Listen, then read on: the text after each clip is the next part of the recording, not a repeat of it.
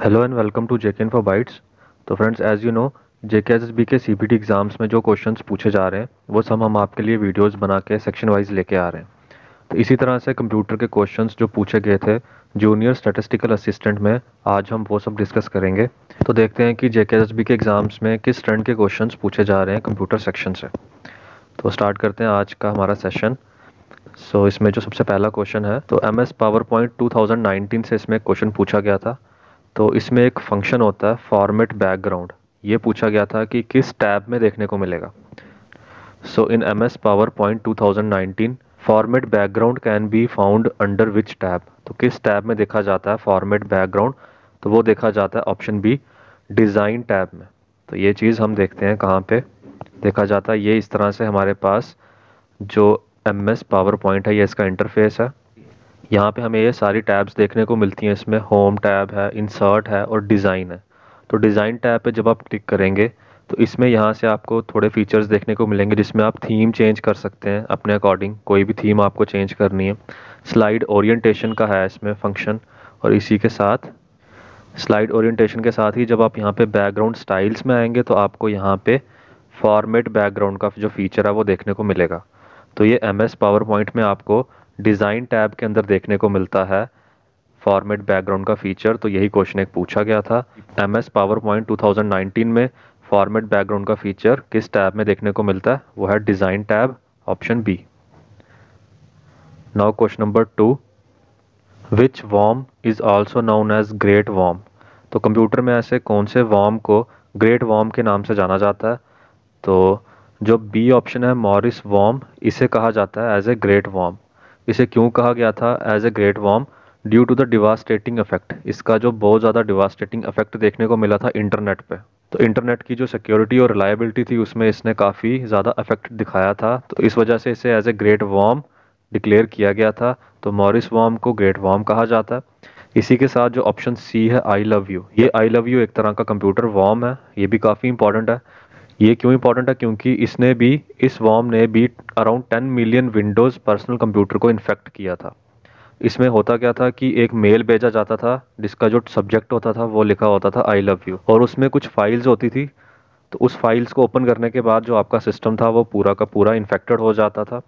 I love you warm ने भी computer system को काफ़ी इन्फेक्ट किया था। तो ये थे कुछ वॉर्म्स तो ग्रेट वॉर्म के नाम से ऑप्शन बी मॉरिस वॉर्म को जाना जाता है। अब हम देखते हैं question number three Which of the following is a file extension in MS Word 2019? MS Word 2019 जिसमें हम अपनी जो डॉक्यूमेंट फाइल्स हैं, वो क्रिएट करते हैं। तो उसकी एक्सटेंशन क्या है? तो उसकी जो फ़ाइल एक्सटेंशन इसमें है, वो है ऑप्शन डी डॉक एम तो जो नॉर्मली जो वर्ड डॉक्यूमेंट की जो होती हैं एक्सटेंशन फाइल्स वो आपको कुछ इस तरह से देखने को होती हैं। डॉक एक्स डॉक एम या फिर डॉक बी भी होता है। तो डॉक एक्स जो है, वो वर्ड डॉक्यूमेंट है।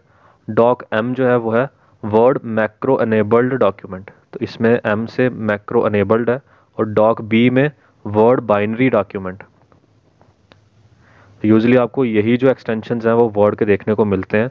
तो इन ऑप्शंस में से जो इसका सही आंसर बन रहा था वो था ऑप्शन डी डॉक एम अगर यहाँ पे डॉक एक्स होता या फिर कुछ और ऑप्शन होता तो था इसमें चांसेस बाकी वो सारे ऑप्शन ए बी सी अलग हैं और ऑप्शन डी इसमें डॉक एम है।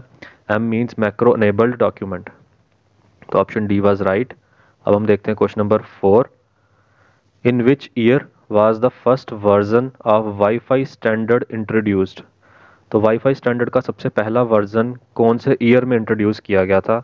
तो ये इंट्रोड्यूस किया गया था ऑप्शन सी 1997 में। तो 1997 में पहला वाईफाई स्टैंडर्ड इंट्रोड्यूस किया गया था। तो जो इसका वर्जन क्या था? इसका जो वर्जन था 802.11 ये इसका सबसे पहला वर्जन था वाईफाई स्टैंडर्ड का, जिसे 1997 में इंट्रोड्यूस किया गया था। फ़र्स्ट वायरलेस नेटवर्क स्टैंडर्ड था ये। Now question number five notebook computer desktop computer hand held computer are the example of which type of computer notebook computer desktop computer hand held computer जितनी भी examples हैं computer की, ये इनमें से computer का कौन सा टाइप है? तो ये जो सारी टाइप्स हैं, ये माइक्रो कंप्यूटर की टाइप्स हैं। नोटबुक कंप्यूटर भी डेस्कटॉप कंप्यूटर भी और हैंड हेल्ड कंप्यूटर भी, ये सारी माइक्रो कंप्यूटर की टाइप्स हैं। नाउ अब हम देखते हैं question number six A dash is a text file containing a string of information which stores browsing information on the hard disk of your computer तो इनमें से ऐसी क्या चीज़ है जो एक टेक्स्ट फ़ाइल होती है, जिसके अंदर कुछ स्ट्रिंग ऑफ़ इंफॉर्मेशन प्रेजेंट होती है और वो आपके हार्ड डिस्क में स्टोर कर लेता है कंप्यूटर के। तो ऐसी क्या चीज़ होती है तो ऐसी चीज़ को हम बोलते हैं कुकीज़ तो कुकीज़ एक तरह की टेक्स्ट फ़ाइल होती हैं जिनके अंदर कुछ स्मॉल पीसीज ऑफ़ डाटा होता है। इसके अंदर कुछ इन्फॉर्मेशन प्रेजेंट होती है, जो कि आप कुछ ब्राउजिंग करते टाइम या ऑनलाइन शॉपिंग करते टाइम कुछ भी इन्फॉर्मेशन या टेक्स्ट फ़ाइल के रूप में स्टोर कर लेता है अपनी कंप्यूटर की हार्ड डिस्क में। तो इसे कुकीज़ कहा जाता है option A now question number seven shortcut key से इसमें क्वेश्चन है। In M S Excel 2019 which of the following shortcut keys is used to select an entire column in an worksheet? तो एम एस एक्सएल 2019 में इनमें से ऐसी कौन सी shortcut की को हम यूज़ करते हैं? पूरी की पूरी कॉलम को सिलेक्ट करने के लिए। तो जैसे कि आपको पता है एम एस एक्सएल में रोज़ और कॉलम्स प्रेजेंट होती हैं और जहाँ पे ये इंटरसेक्ट होते हैं, वो हमारे सेल्स होते हैं। ये सेल्स होके इसके बीच में और ये हमारे पास रोज़ हैं और नीचे इस तरह से कॉलम है। तो अगर हमने पूरे एंटायर कॉलम को सिलेक्ट करना है तो इनमें से ऐसी कौन सी शॉर्टकट की को हम प्रेस करेंगे? तो उस शॉर्टकट की को हम प्रेस करते हैं कंट्रोल प्लस स्पेस बार तो कंट्रोल की को और स्पेस बार को जब हम कंबाइनली प्रेस करते हैं हमारी वर्कशीट में जो सारा कॉलम होता है, वो एक सिलेक्ट हो जाता है। तो ऑप्शन ए इसका सही था। Now question number eight dash is a software for hardware तो इनमें से ऐसी क्या चीज़ है जो हार्डवेयर के लिए एक सॉफ्टवेयर का काम करता तो हार्डवेयर के लिए एक सॉफ्टवेयर का काम करता है, वो है ऑप्शन ए फर्मवेयर फर्मवेयर एक तरह का परमानेंट सॉफ्टवेयर होता है, जो कि मशीन में इंस्टॉल कर दिया जाता है, पहले से ही. ये मैन्युफैक्चरर के द्वारा किसी भी इलेक्ट्रॉनिक डिवाइस में पहले ही इंस्टॉल कर दिया जाता है. इसका जो मेन पर्पस होता है इंस्टॉल करने का, कि जो हार्डवेयर है, उसको कंट्रोल करना ऑपरेट करना और उसे मेंटेन करके रखना और इसे एम्बेडेड सॉफ्टवेयर के नाम से भी जाना जाता है. एम्बेडेड सॉफ्टवेयर क्योंकि ये इसे मैन्युफैक्चरिंग के टाइम पे ही एम्बेड कर दिया जाता है। किसी भी इलेक्ट्रॉनिक डिवाइस में इसीलिए इसे एम्बेडेड सॉफ्टवेयर के नाम से भी जाना जाता है। ये हार्डवेयर के लिए सॉफ्टवेयर का काम करता है।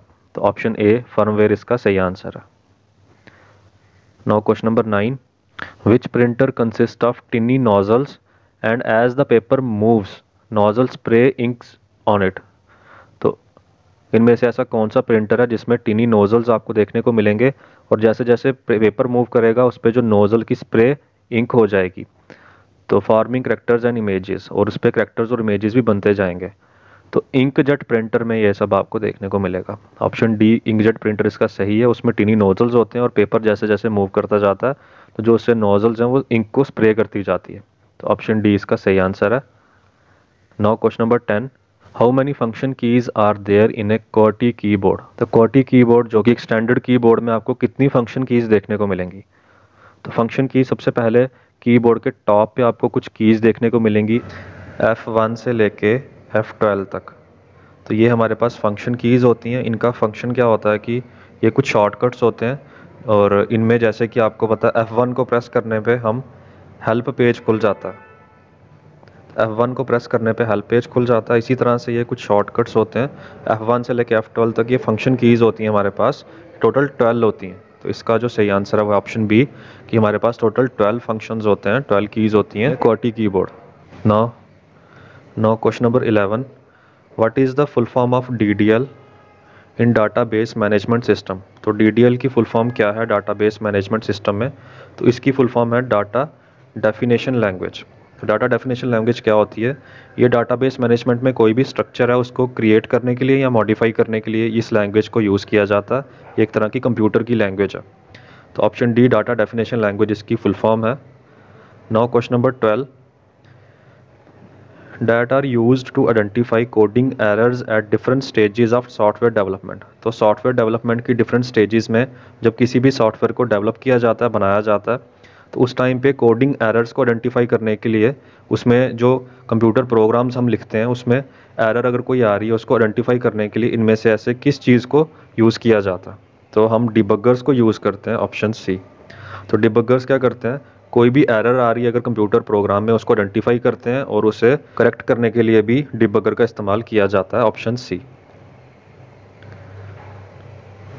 now question number thirteen in M S Excel 2019 coup days is a dash function तो एम एस एक्सएल 2019 में एक फ़ंक्शन आता है कप डेज़ ये आपको किस टैब में देखने को मिलेगा? तो ये हमें फाइनेंशियल में देखने को मिलेगा। तो इस तरह से हमारे पास एम एस एक्सेल में टैब्स हैं home tab insert page layout और फार्मूलाज तो फार्मूलाज में जब आप जाएँगे तो फार्मूलाज में आपको इस तरह से सारे फ़ंक्शन देखने को मिलेंगे ऑटो सम रिसेंटली यूज्ड और फाइनेंशियल तो फाइनेंशियल में आपको ये कप डेज़ देखने को मिलेगा। यही पूछा गया था क्वेश्चन हमसे कप डेज़ कैसा फ़ंक्शन है? तो ये एक फाइनेंशियल फ़ंक्शन है। तो इसका जो सही आंसर है, वो है financial option B now question number 14 which are the following web browser was developed by National Center for Supercomputing Application NCSA तो NCSA के द्वारा इनमें से ऐसा कौन सा वेब ब्राउज़र है जो डेवलप किया गया था? ये इंपॉर्टेंट क्यों है? क्योंकि जो ब्राउज़र है, ये फ़र्स्ट ग्राफिक वेब ब्राउज़र था। तो फ़र्स्ट ग्राफिक वेब ब्राउज़र जो था, वो था मोजेक ये पहला ऐसा ब्राउज़र था, जो ग्राफिक वेब ब्राउज़र था और इसे एनसीएसए के द्वारा डेवलप किया गया था। तो ऑप्शन ए इसका सही आंसर था। नाउ क्वेश्चन नंबर 15 दोबारा से शॉर्टकट की से क्वेश्चन इसमें पूछा गया है। इस बार एम एस एक्सल ट्वेंटी से क्वेश्चन है। इसमें बताना है कि ऐसी कौन सी शॉर्टकट की हम इस्तेमाल करते हैं। To bold the text of selected cell cell में अगर हमने कुछ लिखा हुआ है तो उसे अगर हमने बोल्ड करना है तो हम इसमें से ऐसी कौन सी शॉर्टकट की को यूज़ करेंगे? तो ऐसी शॉर्टकट की होती है control plus two control plus two को यूज़ करके हम अपने टेक्स्ट को किसी भी सिलेक्टेड सेल में उसे बोल्ड कर सकते हैं। तो ये हमारी एक शॉर्टकट की है, जो एम एस एक्सएल ट्वेंटी में क्वेश्चन एक पूछा गया था। तो ऑप्शन डी इसका सही आंसर था। तो फ्रेंड्स ये थे कुछ क्वेश्चंस कंप्यूटर सेक्शन से जो सीबीटी एग्ज़ाम्स में पूछे गए थे। इसी तरह से बाकी सेक्शंस पे भी हम आपके लिए वीडियोस लेके आते जाया करेंगे। बस आप चैनल को सब्सक्राइब कर लीजिए वीडियो को ज़्यादा से ज़्यादा अपने फ्रेंड्स के साथ शेयर करें, जो भी जे के के एग्ज़ाम्स की प्रेपरेशन कर रहे हैं, और channel J K info bytes को सब्सक्राइब करें। तो फ्रेंड्स मिलते हैं नेक्स्ट वीडियो में। Thank you so much